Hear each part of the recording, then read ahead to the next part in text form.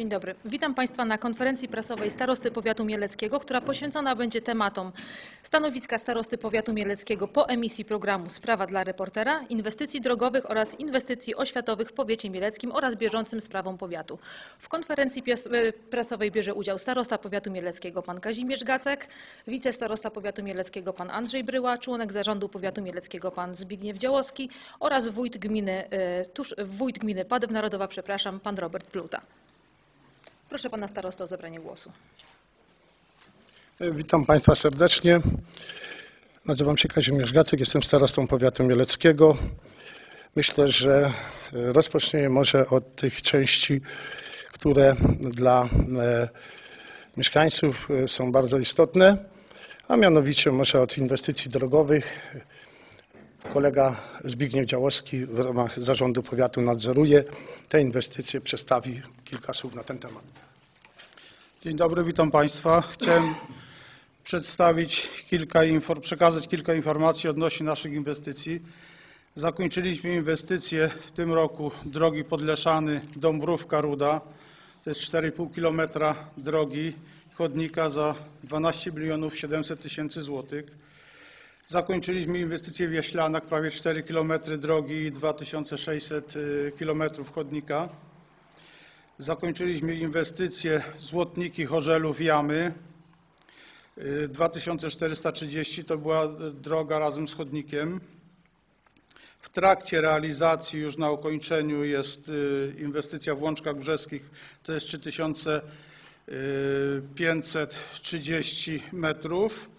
I druga inwestycja w Błonie Podborze. Praktycznie w Błoniu inwestycja zakończona jest. W Błoniu została nam jeszcze nakładka asfalto- asfaltowa i ta inwestycja też w tym roku będzie zakończona.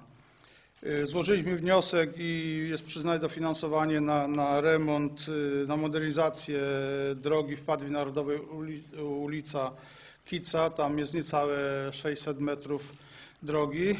Złożyliśmy również wnioski na y, Wampierzów i na Kiełków z, Rządowego Funduszu Rozwoju Dróg.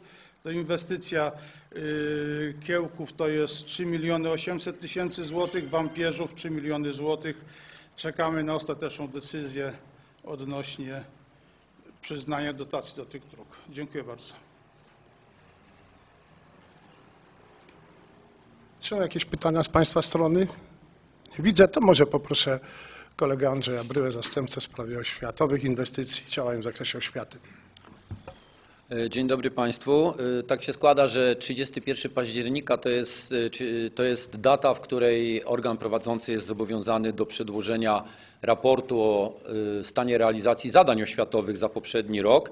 Taki raport przedłożyliśmy wszystkim wskazanym w ustawie prawo oświatowe podmiotom i myślę, że warto tutaj przy okazji tej konferencji przedstawić e, najważniejsze inwestycje oświatowe, bo przypomnę, że przy absolutorium które było pół roku temu, byliśmy najbardziej właśnie krytykowani za brak działań w oświacie w zakresie modernizacji bazy oświatowej. Otóż sytuacja wygląda w ten sposób, że w tej chwili jesteśmy w trakcie realizacji ośmiu dużych zadań y, w zakresie y, infrastruktury oświatowej. Myślę, że cyfry mówią same za, za siebie. Łączna kwota tych zadań to jest 58 milionów 266 tysięcy, a poziom ich dofinansowania to jest 42 miliony 72 tysiące złotych, a więc y, realizujemy duże inwestycje przy wsparciu finansowym ponad 72%, czyli nasz wkład w te inwestycje to jest mniej więcej 1 czwarta ich wartości. Jakie to są inwestycje? Zacznę od tych dwóch związanych z programem Olimpia, czyli zadaszenia lekkimi konstrukcjami obiektów sportowych przyszkolnych i te dwie inwestycje realizujemy w Zespole Szkół Ekonomicznych i w Zespole Szkół Technicznych. Y, Przypomnę również, że od pierwotnej wersji te y, programy zostały rozszerzone. Zakres możliwości y, inwestycyjnych został zwiększony, został zwiększony również poziom ich dofinansowania. Mieliśmy owocne spotkania w Ministerstwie e, Sportu, również dzięki dużemu wsparciu naszej pani poseł Krystyny Skowrońskiej i udało nam się zwiększyć zakresy obydwu działań. Y, Te, y, te inwestycje są w trakcie realizacji. Y, ZST daleko zaawansowana, natomiast w ekonomiku niedawno podpisaliśmy umowę z wykonawcą. Największe z tych ośmiu inwestycji to inwestycja y, w drugim liceum, tutaj w sąs- sąsiadującej z nami szkole, w której wczoraj został przekazany teren budowy. Jest to inwestycja na kwotę prawie 13 milionów i jest to nowa sala sportowa z łącznikiem. Yy, Tak jak powiedziałem, wczoraj został przekazany teren budowy, inwestycja się rozpoczyna. Planowane zakończenie to kwiecień 2026. Bardzo duża inwestycja trwająca już i o dalekim stopniu zaawansowania to jest branżowe Centrum Umiejętności Kadry dla Przemysłu Lotniczego. Jest to rozbudowa i bardzo duże doposażenie yy, w Centrum Kształcenia Praktycznego i Doskonalenia Nauczycieli. Tak jak powiedziałem, jest to inwestycja największa. Ona wynosi 18 milionów 750, prawie 4 tysiące. Tutaj budowa trwa. Do 7 grudnia wszystko wskazuje na to, że zostaną zakończone roboty budowlane z Przyjana Maura. Natomiast w przyszłym roku trwa równolegle wyposażanie, pro- przeprowadzane są postępowania przetargowe na wyposażenie poszczególnych pracowni, na doposażenie tych istniejących. Także myślę, że tutaj te terminy są niezagrożone. Planujemy y, w drugim kwartale przyszłego roku, dokładne daty będą jeszcze podawane, na otwarcie tej placówki. Pozostałe, pozostałe inwestycje to jest program dostępności w zakresie dostosowania dla osób y, z niepełnosprawnościami. Taka inwestycja jest prowadzona w drugim liceum. Również został już zaakceptowany na pierwszej fazie wniosek o termomodernizację pierwszego liceum ogólnokształcącego. Także te wszystkie działania prowadzimy z dosyć dużym, myślę, rozmachem. Przypomnę jeszcze raz cyfry, bo one najbardziej przemawiają. Łączna kwota tych inwestycji, w trakcie których jesteśmy, to jest 58 milionów 266 tysięcy, a kwota dofinansowania to ponad 42 miliony. I tu jest ogrom pracy naszych służb związanych z zamówieniami publicznymi, bo wiecie Państwo, jak trudno prowadzi się postępowania zgodnie z prawem zamówienia publiczne. Należą się tutaj w tym miejscu te podziękowania dla tych naszych wszystkich pracowników i również dla szkół, który, z którymi bardzo dobra współpraca w tym zakresie się odbywa. Jeśli są jakieś pytania w tym obszarze, to jestem do Państwa dyspozycji. A jeśli nie ma, to myślę, że Pan Starosta przejdzie do głównego tematu konferencji. Dziękuję bardzo. Szanowni Państwo, jak widzę, dwa pierwsze punkty poszły nam bardzo sprawnie, a zatem przechodzimy do punktu trzeciego, związanego ze scalaniem gruntów. E, W os- ostatnim okresie mm, ta sprawa stała się jeszcze bardziej medialna e, i proszę Państwa, e, jest to dla powiatu też pewne wyzwanie, bo proszę Państwa, powiat mielecki to powiat przemysłu i sprawnej administracji. Przyjaznego podejścia do przedsiębiorców, do mieszkańców. To jest powiat też nowoczesny. Również nowocześnie zarządzany, powiat nowoczesnego przemysłu. Ale również jest to powiat, proszę Państwa, transparentny i jest to powiat działający zgodnie z prawem. I taki wizerunek tego powiatu jest, proszę Państwa, od lat przez nas budowany. Dlatego też nie pozwolimy sobie na naruszenie tego wizerunku. Z drugiej strony, ja nie jestem osobą nieuczciwą, nie jestem osobą, nie jestem osobą naruszającą prawo, nie jestem osobą skazaną, nie jestem osobą, wobec której toczą się jakiekolwiek postępowania. I również mam prawo do, ochrony, do ochrony swoich dóbr osobistych. Szanowni Państwo, aby przybliżyć Państwu scalanie gruntów, sprawę scalania gruntów, poproszę Pana Dyrektora Macieja Woźniaka o krótkie omówienie zasad scalania, na czym scalanie polega, co daje mieszkańcom, byście Państwo mieli szerszą wiedzę, o co w ogóle chodzi. Dziękuję. Dzień dobry, proszę Państwa. Ja się nazywam Maciej Woźniak.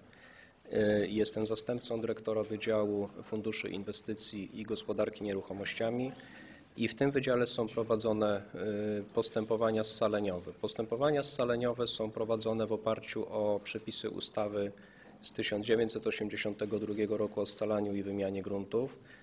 E, Nie jest to ustawa, która jest pierwszą ustawą, która reguluje tą materię, ponieważ Pierwsza ustawa scaleniowa była y, uchwalona przez Sejm jeszcze w dwudziestoleciu międzywojennym, to były lata dwudzieste i od tego czasu w y, prawie funkcjonuje taka instytucja. Y, Jeżeli chodzi o scalenie gruntów, to trzeba powiedzieć, że jest to zabieg, który ma na celu poprawienie warunków gospodarowania w rolnictwie, czyli chodzi o poprawienie rozłogu działek w gospodarstwach, dostosowanie ich granic do warunków terenowych, do dróg, do sieci rowów. E, Postępowanie scaleniowe jest prowadzone w obecnym stanie prawnym przez e, starostę jako organ pierwszej instancji, to jest zadanie z zakresu administracji rządowej. Jest ono wszczynane na wniosek większości właścicieli gruntów lub wniosek, który pochodzi od właścicieli, których powierzchnia przekracza połowę projektowanego obszaru scalenia. E, W całym toku postępowania scaleniowego funkcjonuje Rada Uczestników Scalenia, która reprezentuje e, uczestników scalenia w postępowaniu. E, Scalenie jest oparte na szacunku porównawczym gruntu. To ma znaczenie dlatego, że e, naczelną zasadą jest to, że w scaleniu gruntów każdy uczestnik scalenia ma mieć wydzieloną taką samą wartość szacunkową jak grunt posiadany przed scaleniem. Zasady szacunku ustalają sami uczestnicy e, scalenia. Polega to na tym, że się przypisuje określone wartości punktowe do określonych rodzajów użytków gruntowych oraz e, rozróżnia się kompleksy, które mają e, według uczestników scalenia większą wartość ze względu na swoje położenie, możliwość zabudowy, zainwestowania od tych obszarów, które mają niższą wartość. To wszystko jest ujęte w zasadach. Na podstawie przyjętych przez uczestników scalenia e, zasad szacunku jest opracowywany szacunek porównawczy gruntów. E, Ten szacunek jest zatwierdzany również uchwałą przez e, uczestników scalenia i mając zatwierdzony szacunek, wszyscy uczestnicy scalenia mają możliwość złożenia życzeń do projektu scalenia, które określają według nich, jak oni by widzieli e, zaprojektowanie e, swoich przyszłych działek, w jakich miejscach, które działki są dla nich cenne, z których mogą zrezygnować. Na podstawie tego powołany przez e, starostę geodeta projektant scalenia opracowuje projekt scalenia, to jest opracowanie w sensie technicznym. Tutaj na terenie naszego województwa e, projekty scalenia opracowuje e, Podkarpackie Biuro Geodezji Terenów Rolnych. Jest to jednostka e, marszałka województwa. Takie jednostki działają w każdym samorządzie wojewódzkim i jest, są to jednostki specjalnie przy, przeznaczone, przygotowane w szczególności do takich prac geodezyjno-urządzeniowych na rzecz rolnictwa. E, Tak jak już powiedziałem, jest opracowywany projekt scalenia. Ten projekt jest okazywany poszczególnym uczestnikom scalenia. E, Mogą oni składać zastrzeżenia do tego projektu. Te zastrzeżenia są rozpatrywane e, i opiniowane przez Radę Uczestników Scalenia. I projekt scalenia można zatwierdzić decyzją administracyjną, jeżeli co najmniej połowa uczestników scalenia e, przyjmie opracowany projekt. Jeżeli chodzi o scalenie gruntów e, w Padwi, uczestników scalenia było w granicach 1500-1600, natomiast e, projekt scalenia został zakwestionowany tam przez około 100, 140 kilka osób, czyli to kryterium przyjęcia było spełnione w zdecydowanej mierze. E, Jeżeli jest spełniona ta przesłanka, jest wydawana decyzja administracyjna, która zatwierdza ten projekt scalenia. Decyzja ma rygor natychmiastowej wykonalności i na podstawie tego uczestnicy scalenia są wprowadzani w posiadanie nowych gruntów i to stanowi też podstawę do e, rozpoczęcia zagospodarowania postscaleniowego. Takie zagospodarowanie postscaleniowe w Padwie zostało wykonane. Koszt tego zagospodarowania, opracowania całego projektu scalenia to było około 11 milionów złotych. Od decyzji administracyjnej przysługuje e, odwołanie e, do organu drugiej instancji, którym jest obecnie wojewoda i od decyzji wojewody przysługuje skarga do sądu administracyjnego. Tak w skrócie to wygląda, jeżeli chodzi o przebieg postępowania.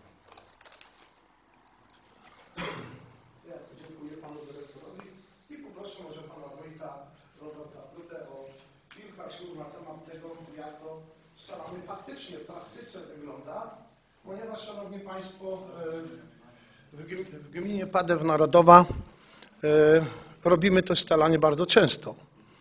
I to nie jest, że tak, że zrobiliśmy tylko jedno scalanie w Padwi i są tam tylko kłopoty. Proszę Państwa, tych scaleń jest więcej zdecydowanie i nie ma kłopotów. E, Dlatego ludzie są wręcz bardzo zadowoleni. Proszę Państwa, Pan Wójt Pluta przedstawi opinię gminy, mieszkańców, jak to faktycznie wygląda. Dziękuję. Dzień dobry Państwu, dzień dobry Panie Starosto. Tu oczywiście pozwolę sobie, zanim przejdę do tego tematu, o którym Pan wspomniał, dwa zdania, e, skoro już e, mówimy o inwestycjach powiatu i od tego Państwo zaczęliście, no to też chciałbym zwrócić uwagę, iż w bieżącym roku, kontynuując jakby e, działania gminy Padew, kolejny rok ponad 40% e, środków budżetu gminy idzie na inwestycje, więc od kilku lat utrzymujemy tą, e, tą średnią. Jednocześnie podkreślić należy dla mieszkańców gminy Padew o jednych z najniższych obciążeniach podatkowych w Podkarpaciu, zwolnieniu z podatku od domu wszystkich mieszkańców i wszelkie działania, które na chwilę obecną są robione, służyć mają mieszkańcom gminy Padew Narodowa.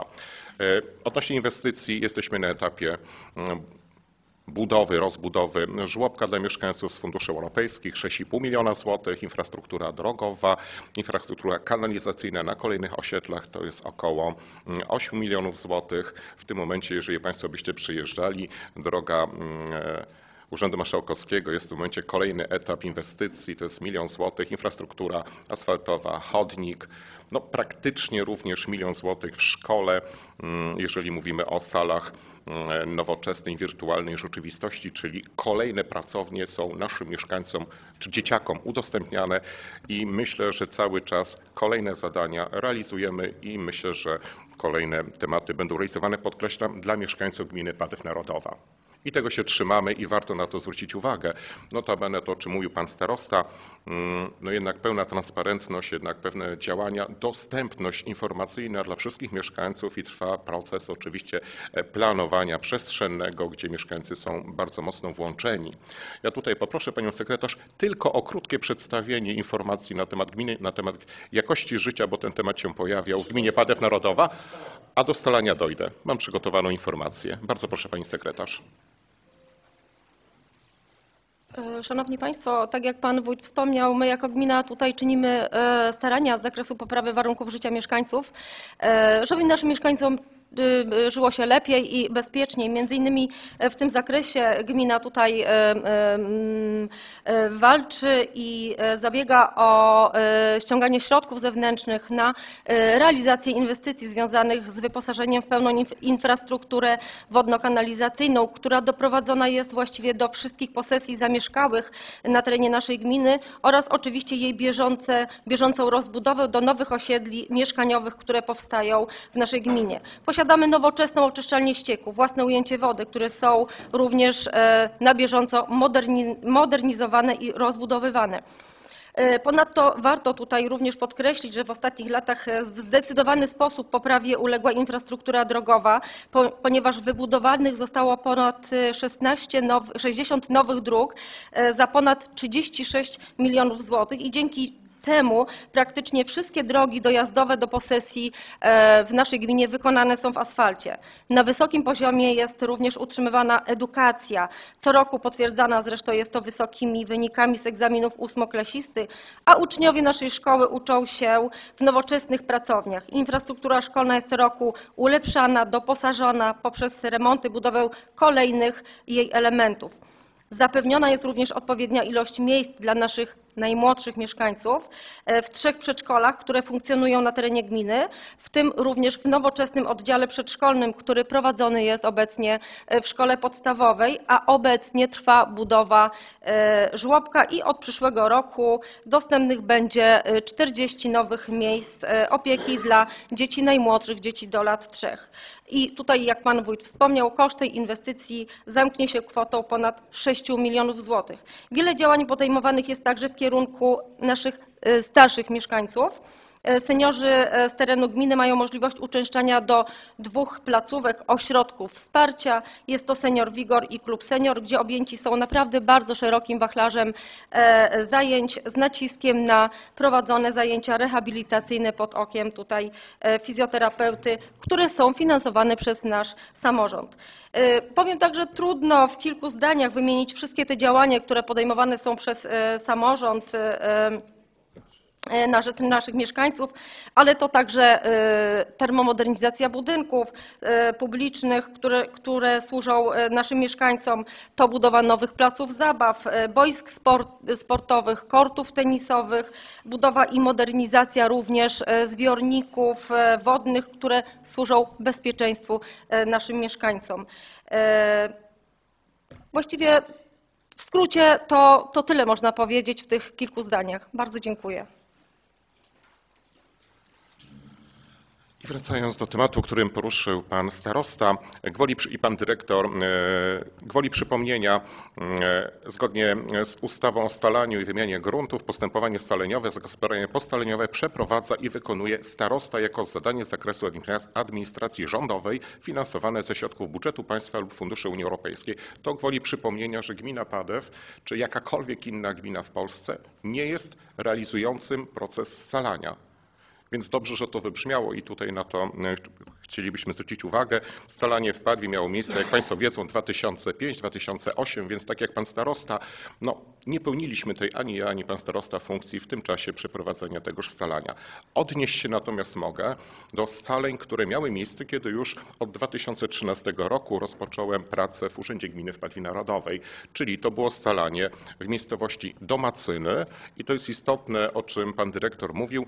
Ono było wszczęte na wniosek mieszkańców Domacyn, którzy przekazali swoje wystąpienie do starosty powiatu mieleckiego, więc nie gmina zbiera podpisy, nie gmina to realizuje. To wynika z przepisów prawa. Tyle. I to scalenie się odbyło.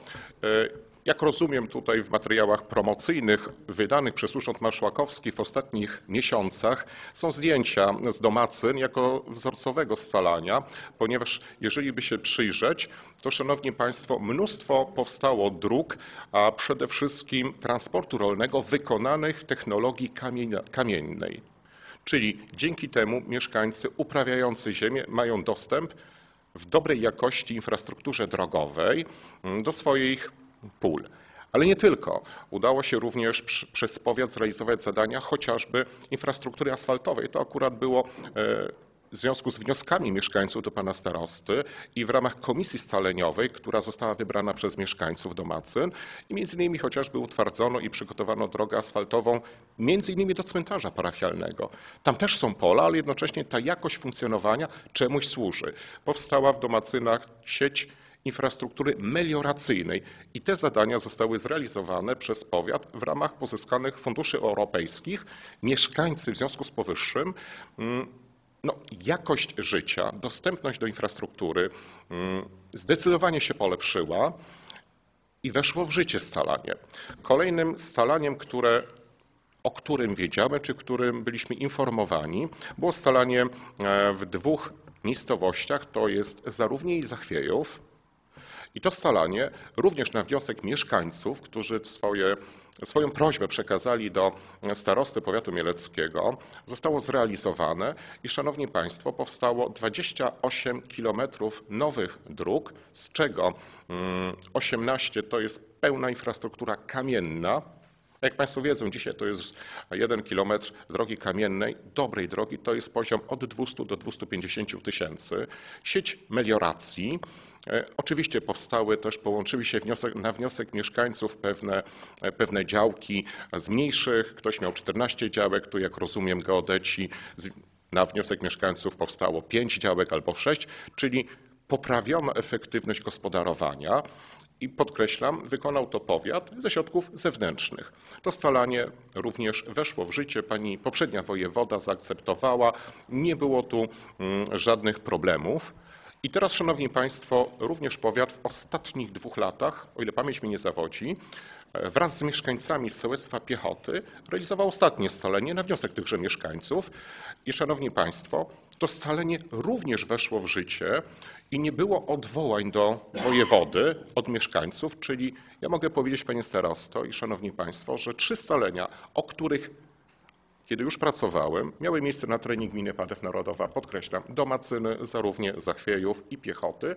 I szanowni państwo, mieszkańcy uczestniczyli cały czas w spotkaniach z przedstawicielami pracowników pana starosty, z geodetami Urzędu Marszałkowskiego i oczekiwania i potrzeby były wysłuchiwane.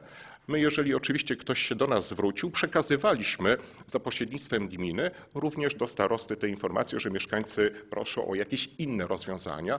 W związku z powyższym można podsumować, że wiele milionów złotych zostało zainwestowane w tą infrastrukturę. E, Powstała nowa sieć melioracji, e, powstały nowe działki. E, i to służy mieszkańcom. Ja nie odnoszę się do tego, że oczywiście w ramach procesu scaleniowego, w ramach tych przepisów e, uczestnicy scalenia są zwolnieni z podatków przez określony okres czasu, to jest 3 lata. Natomiast e, jeszcze raz podkreślam, to są wnioski mieszkańców przekazywane do starosty i powiatu, mieszkańców danego sołectwa, którzy chcą tych scaleń. To oni zbierają te wnioski i, i przekazują. Najczęściej jest to przeważnie pan sołtys z przedstawicielami Rady Sołeckiej. Wartość dodana to są twarde fakty, które mają miejsce i tutaj mieszkańcy sami, sami znając jakby minusy, plusy, zagrożenia, podejmowali takie decyzje. Natomiast, szanowni państwo, no, partycypacja jest istotnym elementem scaleń, czyli im większa ilość spotkań, im większa ilość partycypacji, wówczas ten efekt jest pozytywny. Więc to jest z mojej strony chyba wszystko, panie starosto, co mogę przekazać. Bardzo dziękuję.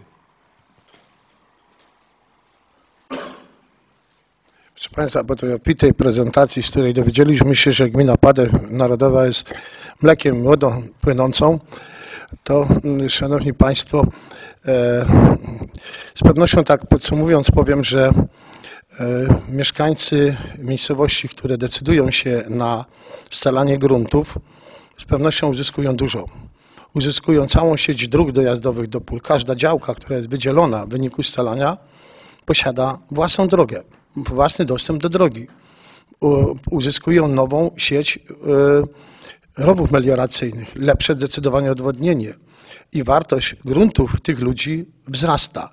Ale czy tak jest, czy cieszy się to scalanie e, dalszym zainteresowaniem? Poproszę pana dyrektora Macieja Woźniaka, jak dzisiaj stoimy ze scaleniami? Czy są zainteresowani, czy są chętni? Proszę Państwa, y, powiem tak jeszcze, zanim Pan Dyrektor podejdzie, że mm, gmina, y, gminy powiatu mieleckiego są częścią dawnej Galicji, tej biedy galicyjskiej, gdzie proszę Państwa ten zagon jest dość wąski. I dzisiaj, aby poprawić y, strukturę gruntów rolnych, umożliwić ich wykorzystanie, lepsze wykorzystanie, bardziej konkurencyjne dla celów produkcji rolnej, aby ożywić produkcję rolną w powiecie mieleckim. Jesteśmy zobowiązani pomagać rolnikom i takie scalania prowadzić. Panie dyrektorze, proszę bardzo. Proszę Państwa, e, nawiązując do tego, co powiedział Pan Starosta, ale i również wcześniej Pan Wójt, e, my robiliśmy jeszcze jedno scalenie. To było pierwsze scalenie robione przez powiat mielecki, wykonywane przez starostę. To było scalenie również na terenie wsi Padew Narodowa, scalenie w Wojkowie. Ono było przeprowadzone troszkę w innych warunkach e, finansowych, ponieważ było wykonywane przed e, przystąpieniem Polski do e, Unii i przed możliwością korzystania ze środków strukturalnych. Ta różnica polegała na tym, że organ przeprowadził postępowanie administracyjne, natomiast zagospodarowanie poscaleniowe z środków Urzędu Marszałkowskiego wykonywała gmina. Także jeżeli mówimy o powiecie mieleckim, to co już tutaj padło, scalenie gruntów wsi Wojków, y, scalenie gruntów wsi Padew, scalenie gruntów wsi Domacyny, scalenie gruntów wsi Zarównie i Zachwiejów, scalenie gruntów wsi Piechoty, to jest proszę Państwa łącznie e, kilka tysięcy hektarów scalonych. I to jest, w ten teren jest wpompowane e, kilkadziesiąt milionów złotych. Tak jak Pan Starosta tutaj e, wspomniał, My y, żyjemy na terenie byłego zaboru galicyjskiego, byłego zaboru austriackiego na terenie Galicji. Jeżeli chodzi o y, strukturę przestrzenną na terenach wiejskich, ta struktura jest wadliwa. To często się o tym mówi. Taka struktura, jak u nas jest na terenie województwa naszego, na terenie województwa małopolskiego, E, Też jest na terenie województwa lubelskiego. To są te tereny, gdzie tych scaleń robi się najwięcej. Najwięcej robi się, proszę Państwa, scalenia gruntu, scaleń gruntów e, w województwie podkarpackim. Czyli to wskazuje i tutaj jest konsumowanych w tej chwili najwięcej środków e, z funduszy europejskich właśnie na to, na to, na to działanie. To wskazuje na to, że tutaj jest potrzeba przebudowy tej struktury e, rolniczej w takim kierunku, żeby umożliwić tą racjonalną gospodarkę rolną e, w takich warunkach, z jakimi mamy do czynienia dzisiaj. No, scalenie gruntów też podnosi wartość, e, wartość gruntów, dlatego ponieważ jednym z takich zabiegów, celów, którym, e, który w scaleniu powinien być osiągnięty, jest to, żeby wydzielane działki miały dostęp do drogi publicznej, czego przed scaleniem bardzo często nie ma. Ta struktura, z którą mamy do czynienia e, tutaj e, w południowo-wschodniej Polsce, jest często określana jako struktura wstęgowa, czyli to są wstęgi, wstęgi długich, e, wąskich działek, często o długości kilometra, nawet powyżej kilometra, szerokości kilku, kilkunastu metrów. To też e, powoduje to, że e, duża część gruntu w ramach poszczególnych gospodarstw rolnych e, jest niewykorzystywana efektywnie do produkcji, dlatego ponieważ część z tych gruntów jest zajęta pod dojazd do poszczególnych kompleksów uprawowych. To wszystko się w scaleniu znosi.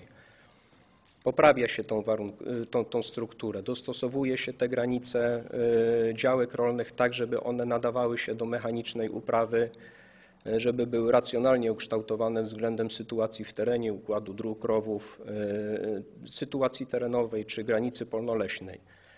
Natomiast, proszę Państwa, co, co na przyszłość? Yy, Bo to też pokazuje to, że yy, no, scalenie nie jest jakimś takim złem definitywnym, bo to już tutaj o tym żeśmy mówili. My w tej chwili mamy u siebie w starostwie złożony wniosek, również yy, pochodzący od mieszkańców yy, wioski z terenu gminy Padew Narodowa, to jest wioska Babule.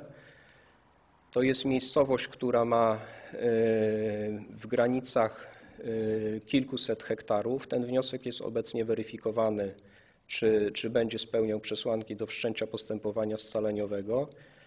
Mamy informację, proszę Państwa, że jest zainteresowanie przeprowadzeniem scalenia gruntów na terenie wsi Czermin w miejscowości Czciana. W niedzielę będzie spotkanie, już jedno spotkanie się odbyło.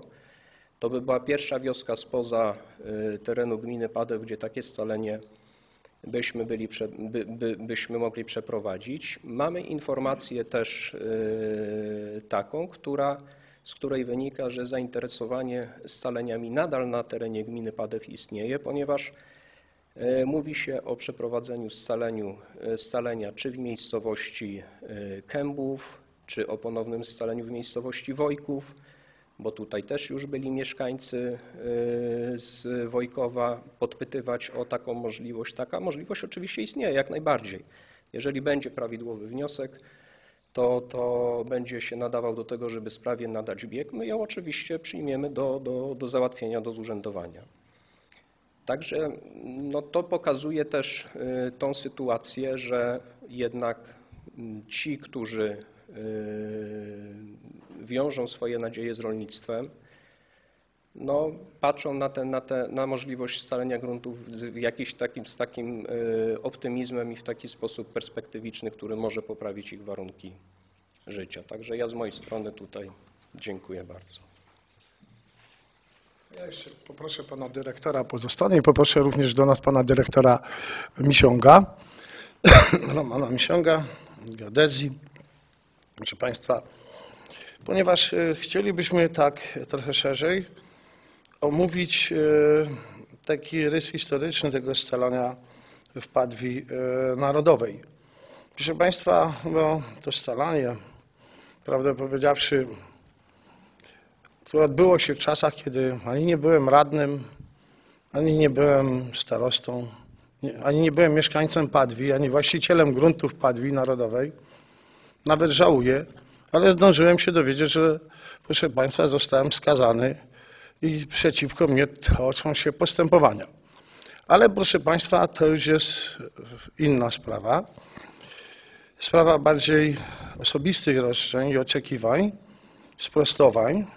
Natomiast e, myślę, to co Państwa może interesować, to sprawa scalania, scalania gruntów Padwi Narodowej. To scalanie rozpoczęło się w 2005 roku postanowieniem w sprawie rozpoczęcia scalania, które podpisał ówczesny dyrektor Wydziału Geodezji z upoważnienia starosty.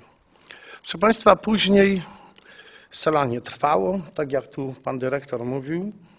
Procedura mm, się toczyła i w 2007 roku została wydana decyzja o zakończeniu scalania. Na podstawie tej decyzji mieszkańcy mogli pobierać zaświadczenia, które wystarczały do tego, aby założyć y, księgę wieczystą, aby wykazać się na przykład w Wydziale Budownictwa tytułem prawnym do, do działki, żeby móc tam cokolwiek robić, budować, tworzyć. I proszę Państwa, później, z tego co wiem, proszę Państwa, rozpoczęły się e, problemy, bo grupa mieszkańców wystąpiła, prawda, panie dyrektorze, że gdzieś chyba pięć czy sześć podpisów pod e, wnioskiem scaleniowym było podrobionych. Starostwo powiatowe wówczas poinformowało o sprawie prokuraturę rejonową, która wszczęła w tej sprawie dochodzenie i stwierdziła, że istotnie kilka podpisów zostało podrobionych, niemniej prokuratura nie jest w stanie ustalić winnych. Przeanalizowano ponownie akta sprawy. Yy, jak gdyby ustalono, że tych pięć czy tam sześć tych podpisów jak gdyby nie uczestniczyło, ale to wystarczyło, te pozostałe podpisy na to, aby uznać scalanie za rozpoczęte i za zakończone.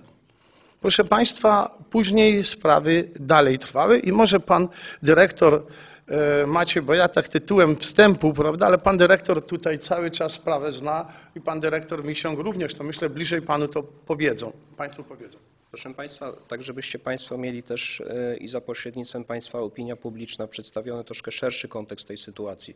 Tak jak już tutaj było powiedziane i Pan Starosta to powiedział, postępowanie zostało wszczęte w 2005 roku na wniosek, który pochodził od większości właścicieli gospodarstw i właścicieli gruntów. Wniosek trafił oczywiście do starostwa. E, Wniosek był weryfikowany w takim sensie, czy, e, ponieważ podstawą do przeprowadzenia scalenia jest ewidencja gruntów, czy na wnioskach podpisały się w stosownej liczbie osoby wykazane w ewidencji gruntów jako właściciele lub posiadacze gruntów. To zostało stwierdzone, że jest ta podstawa do przeprowadzenia, do wszczęcia postępowania. Jeszcze jedna ważna, istotna rzecz, ponieważ Państwo tam z różnych przekazów medialnych wiecie, że E, Część wniosków była sfałszowana. Ja powiem o tym w dalszej części wypowiedzi. Natomiast chciałbym zwrócić tutaj uwagę na fakt taki, że jest to postępowanie administracyjne. Kodeks postępowania administracyjnego określa, jakie warunki powinno spełnić podanie. To jest odformalizowana e, forma postępowania. I z przepisów KPA wynika, że e, wniosek powinien określać od kogo pochodzi, do jakiego organu jest skierowany, w jakiej sprawie i zawierać podpis. Nie daje, yy, przepisy KPA nie dają administracji możliwości, nie zakładają nawet możliwości weryfikowania autentyczności podpisu na etapie wszczęcia postępowania administracyjnego. Każdego jednego, jakiegokolwiek. E, Postępowanie zostało wszczęte, zostało przeprowadzone według takiej procedury, jak tutaj żeśmy Państwu e, przybliżyli. Została wydana decyzja administracyjna i na etapie wydawania decyzji administracyjnej w 2007 roku miała miejsce ta sytuacja, o której mówił Pan Starosta, czyli uczestnicy, uczestnicy scalenia wskazali na fałszywość e, kilku podpisów i my e, taką informację, takie zawiadomienie skierowaliśmy do prokuratury, wskazując na możliwość popełnienia przestępstwa. I to było przedmiotem postępowania prokuratorskiego. E, Prokuratura te wnioski zabezpieczyła dla potrzeb postępowania i postępowanie skończyło się tym, że prokurator e, stwierdził, że e, te wnioski oczywiście są sfałszowane, natomiast nie został, nie został ustalony sprawca tego przestępstwa, czyli wystąpił czyn przestępcy, nie, nie został ustalony sprawca. E, W tym czasie, kiedy prokuratura wydała to postanowienie, akta sprawy były poza urzędem starostwa. E, W czasie e, przebiegu całego tego postępowania zapadały różne orzeczenia w różnych instancjach, zarówno w drugiej instancji e, administracyjnej, w sądach administracyjnych. To postępowanie wróciło do nas w roku 2014 do ponownego załatwienia sprawy. My żeśmy wydali decyzję w roku 2016 drugi raz po uzupełnieniu tego postępowania. Oczywiście jednym z elementów uzupełnienia tego postępowania było zbadanie tego, czy te fałszywe wnioski miały e, wpływ na prawidłowość wszczęcia postępowania. My żeśmy to zweryfikowali e, i zostało stwierdzone, że to nie miało wpływu e, na prawidłowość wszczęcia postępowania w takim sensie, że odpadła podstawa wszczęcia. Ta podstawa nadal była. Po decyzji w 2016 roku e, ona była dalej kwestionowana zarówno w postępowaniu administracyjnym, jak i w postępowaniu sądowo-administracyjnym i dopiero po tej drugiej e, decyzji e, było prowadzone postępowanie prokuratorskie, które stwierdziło, że w aktach postępowania zalegają, zalegają wnioski o przeprowadzenie scalenia sfałszowane w większej ilości.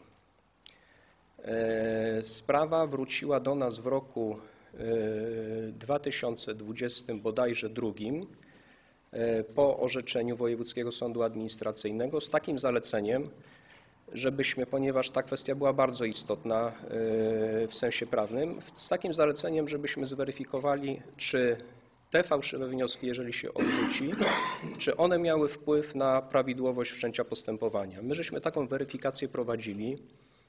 E, I ta weryfikacja doprowadziła do wniosku takiego, że jednak tych wniosków nie było na tyle, e, żeby to, postępowa- żeby to postępowanie wszcząć. Czyli ta sytuacja jest diametralnie inna od momentu wszczęcia postępowania w 2005 roku, e, od tej sytuacji, z którą żeśmy mieli do czynienia po roku 2021, po orzeczeniu ostatnim Wojewódzkiego Sądu Administracyjnego i po pozyskaniu wiedzy o liczbie i konkretnych wnioskach sfałszowanych. E, W roku 20, 2023, 2023 e, weszła w życie ustawa, która w 22, która dotyczyła takich scaleń jak scalenie w Padwi.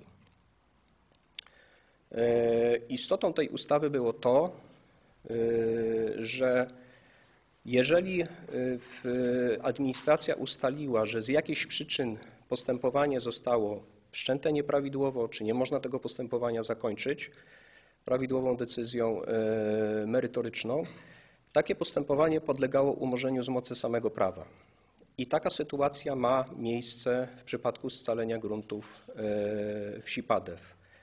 Co to oznacza dla stron? Oznacza to dla stron możliwość taką, że strona, która e, twierdzi, że w jakiś sposób jest poszkodowana, może się ubiegać o odszkodowanie na zasadach ogólnych w postępowaniu cywilnym. Natomiast e, tutaj też znaczenie ta ustawa ma takie, że ona sankcjonuje e, ten walor prawny, jeżeli chodzi o granice działek przyjętych w projekcie scalenia i daje podstawę do tego, żeby ten stan był ujawniony w księgach wieczystych. Czyli znosi tą sytuację niepewności e, prawnej e, w obrocie gruntów, która do tej pory, jeżeli chodzi o PADEW, istniała.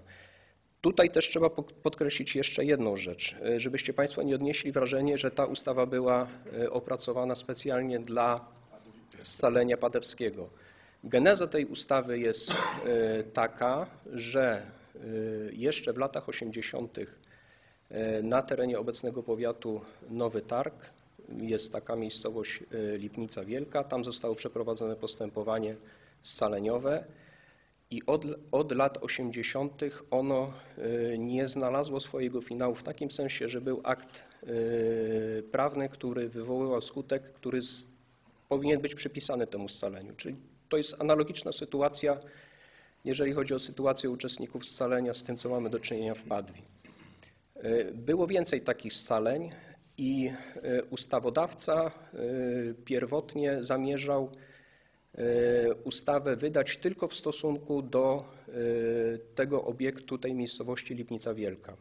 W trakcie procedowania w parlamencie zostało stwierdzone przez Komisję Legislacyjną, że nie można wydać indywidualnej ustawy y, w stosunku do tego, co powinno być zatwierdzone decyzją administracyjną i wtedy y, wyszły y, informacje takie, że takich scaleń jest większy, jest, jest, jest więcej, że nie jest tylko ta Lipnica, tam była mowa o Padwi. Nawet tutaj na terenie naszego województwa jest więcej takich scaleń, które, które ta ustawa dotyka. I wtedy zostało to przepro- przeprocedowane przez parlament w taki sposób, że ukazała się ustawa generalna, która dotyczy takich sytuacji. Jeżeli organ w postępowaniu stwierdzi, że e, ustali, że występują przesłanki określone w tej ustawie, y, chodzi o to, że nie może, tylko musi zastosować przepisy tej ustawy. Czyli ta ustawa zmieniła tą sytuację w taki sposób, że jeżeli się po- podnosi zarzut, że starosta nie, reali- nie realizuje wyroku Wojewódzkiego Sądu Administracyjnego, a ten wyrok zapadł przed wejściem w życie tej ustawy, on w tej chwili tego wyroku już nie może zrealizować, dlatego że się zmienił stan prawny. To wydaje mi się, że to wszystko jest. Znaczy, pozwolę sobie, proszę Państwa, jeszcze powiedzieć tyle, że e, proszę Państwa, e, myśmy tutaj rozpoczęli postępowanie scaleniowe w dobrej wierze. Tak jak powiedział Pan Dyrektor. Nie było tutaj e, żadnych przesłanek do tego, że to postępowanie będzie kończyło się sporami.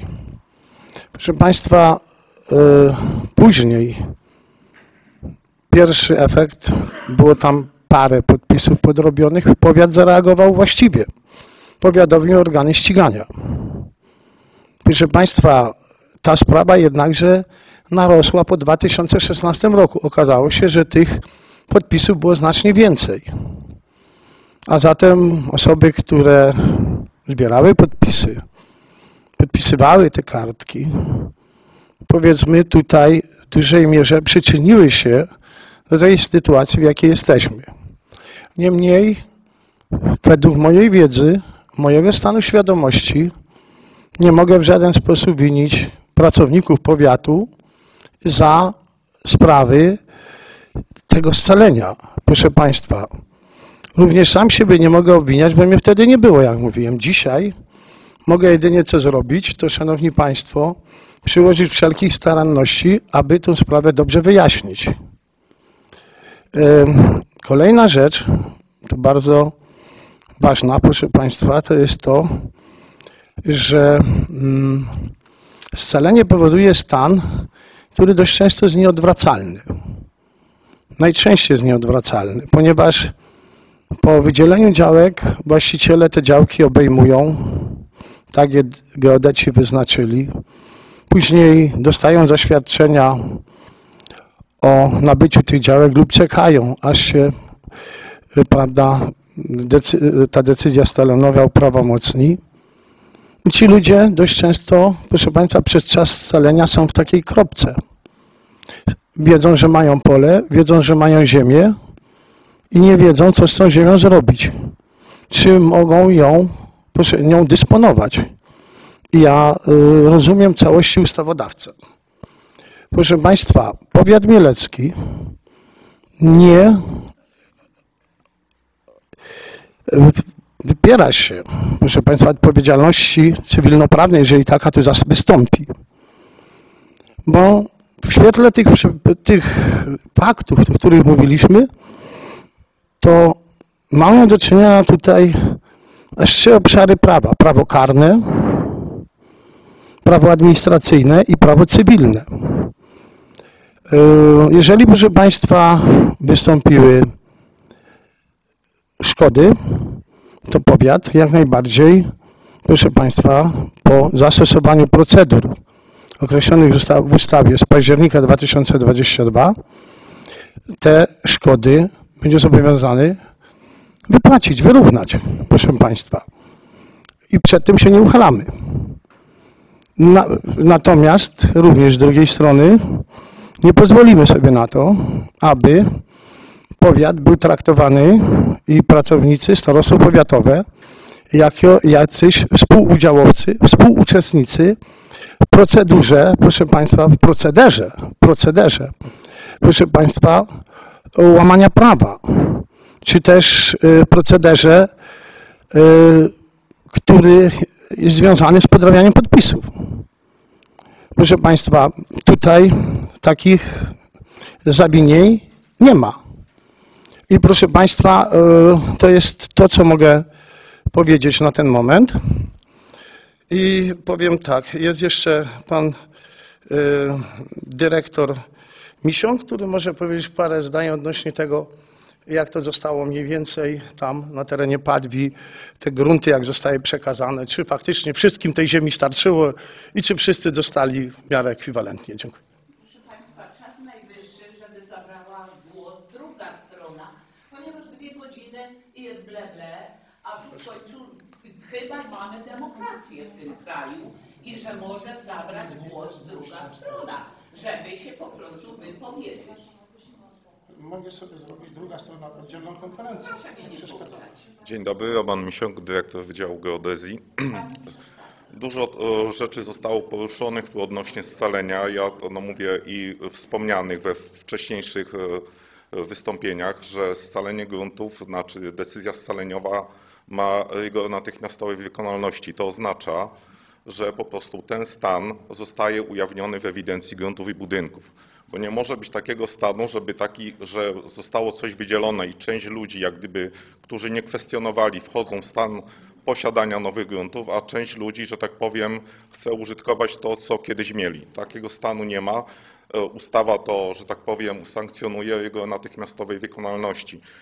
I patrząc na ustawę, na scalenie w Padwi, była taka sytuacja, że ta e, decyzja pierwsza była w jakimś, już przez jakiś czas w obrocie prawnym.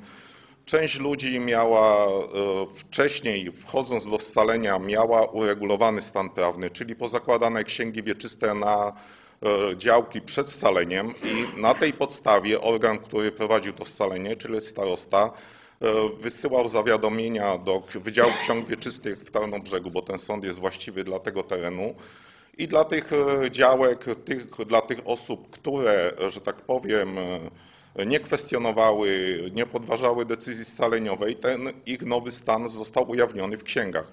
I ci ludzie mają, że tak powiem, nowe oznaczenie e, działki, którą otrzymali po scaleniu i nowy numer księgi. Ci ludzie, że tak powiem, nie mają problemów z podziałem tej działki, z, z podziałem, z przekazaniem na następców, z jakimś tam obrotem prawnym, z wystąpieniem o pozwolenie na budowę. Jest problem z osobami, które, że tak powiem, e, nic nie zrobiły ze swoimi gruntami wcześniej, nie założyły ksiąg wieczystych, miały tylko, wydajmy na to, wy- wydane akty własności ziemi w ramach tam ustawy e, z 71 roku o uwłaszczeniu gruntów. Po prostu do dziś ludzie przychodzą po 50 latach i, że tak powiem, dopiero w tej chwili się interesują, e, że tak powiem, e, własnością swoich przodków, że- żeby uregulować ten stan prawny, tak? I z tymi osobami jest, był duży problem, no bo po prostu na etapie, jeżeli decyzja była uchylona, to sąd e, w Tarnobrzegu, że tak powiem, nie chciał przyjąć takich wniosków o założenie nowego, ujawnienia tego nowego stanu w księgach wieczystych i dlatego ci ludzie no, byli pokrzywdzeni, tak? Z jakimkolwiek podziałem, z jakimkolwiek przekazaniem tego gruntu i do dzisiaj, no mówię, e, że tak powiem, takie, takie sytuacje mają miejsce, bo i wiele osób też nie miało wydanych aktów własności ziemi, dochodzą swoich praw na zasadzie zasiedzenia jakiegoś. Tych e, tematów jest e, bardzo wiele, nie? I mówię, ci, no mówię, to nie było tak, że scalenie stało, ci co mieli uregulowane, to tam w tym czasie, no mówię, około 500 działek uległo podziałowi. Ktoś i sąd, jeżeli ktoś miał księgę wieczystą założoną na nowy stan, ten stan po prostu wprowadzał dalej, był w obiegu prawnym, mogli to, że tak powiem, dalej tym dysponować swoją własnością. Tak samo no, dla wielu działek zostały no, podzielonych, sprzedanych, zmieniona własność, były wydane decyzje, pozwolenia na budowę, czyli no mówię, ta miejscowość żyła, ale w jakimś sensie, no, że tak powiem, ograniczonym, bo nie wszystkich to dotyczyło i ten stan no, nie mógł być e, realizowany. Tyle, co ja mam, no mówię, do powiedzenia w takim temacie, że tak powiem, czysto geodezyjnym. Dziękuję bardzo. Nie będziemy się przepychać. Proszę Państwa, Proszę Państwa, e, ja jeszcze może powiem Państwu tak, że mm, gwoli wyjaśnienia Starostwo Powiatowe e, prowadziło rozmowy z osobami, które, mm, proszę Państwa, czują się pokrzywdzone. Między innymi, proszę Państwa, te osoby zaproponowały starostwu, Szanowni Państwo, przekazanie po 15 działek budowlanych z majątku starostwa dla każdej z tych osób. Proszę Państwa, uzasadnienie między innymi jest takie, liczne i częste wyjazdy do posłów, którzy byli zainteresowani, to są te koszty, które dodatkowo zwiększają, proszę Państwa, i powodują, że te wydatki są tak duże. Tym przestępstwem pani Hrynkiewicz, pani Wróblewska, pan Jaki, pan Zbigniew Ziodło, liczne częste wyjazdy do mediów, do telewizji Trwam, Polsat, interwencje, nasz dziennik, biura Jarosława Kaczyńskiego itp. itd. Proszę Państwa, my jako powiat nie uchylamy się, jeszcze raz mówię, od sytuacji, kiedy będziemy zobowiązani do poniesienia kosztów. Ale proszę Państwa, to musi być transparentne. Jako powiat, jako starosta, jako zarząd powiatu, proszę Państwa, odpowiadamy za mienie publiczne. Przepisy dokładnie mówią, co sobie możemy pozwolić i w jaki sposób tym mieniem możemy dysponować.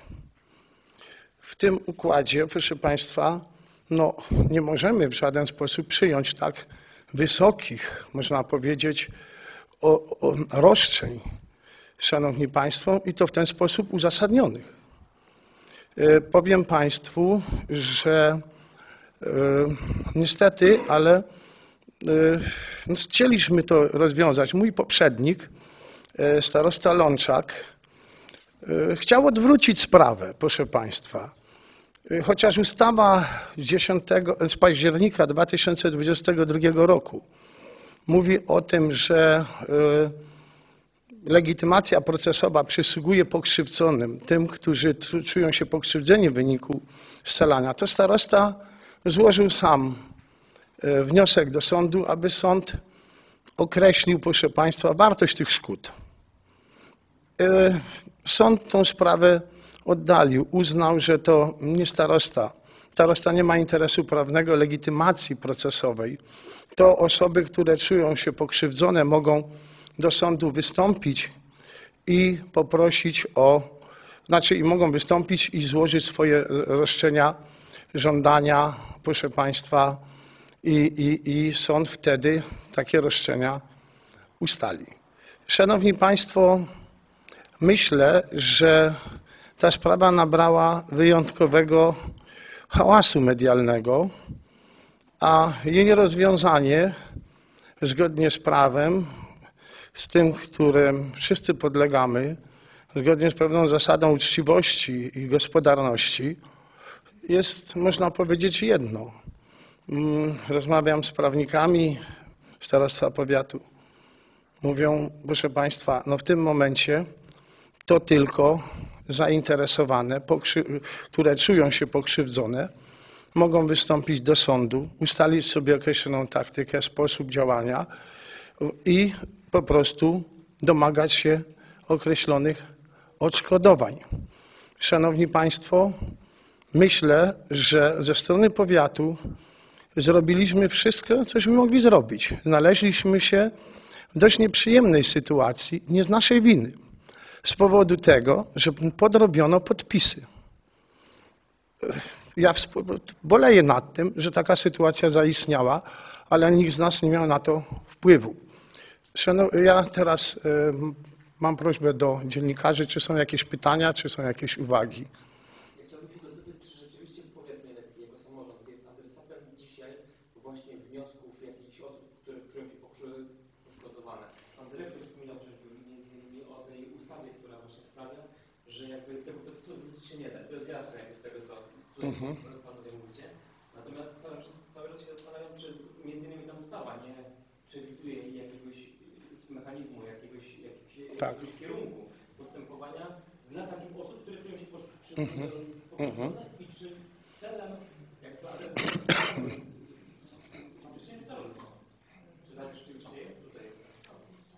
Ja myślę, że jeżeli ustawa wskazuje na tryb sądowy ustalenia, biorąc pod uwagę również dość tu niekiedy kontrowersyjne wnioski ugodowe, to proszę Państwa, starosta już nie ma tej możliwości, żeby zawierać ugody.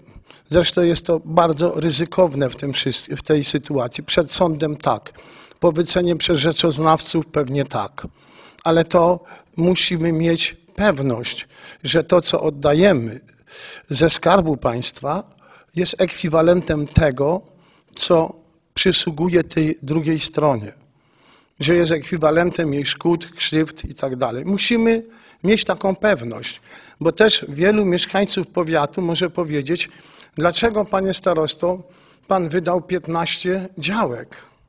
To jest nasz majątek. Czy pan się nad tym zastanawiał? To proszę państwa, jest takie znowu, można powiedzieć, sprawiedli- społeczna sprawiedliwość i odczucie oprócz tego prawa. Dziękuję. Dziękujemy Państwu za udział w konferencji prasowej.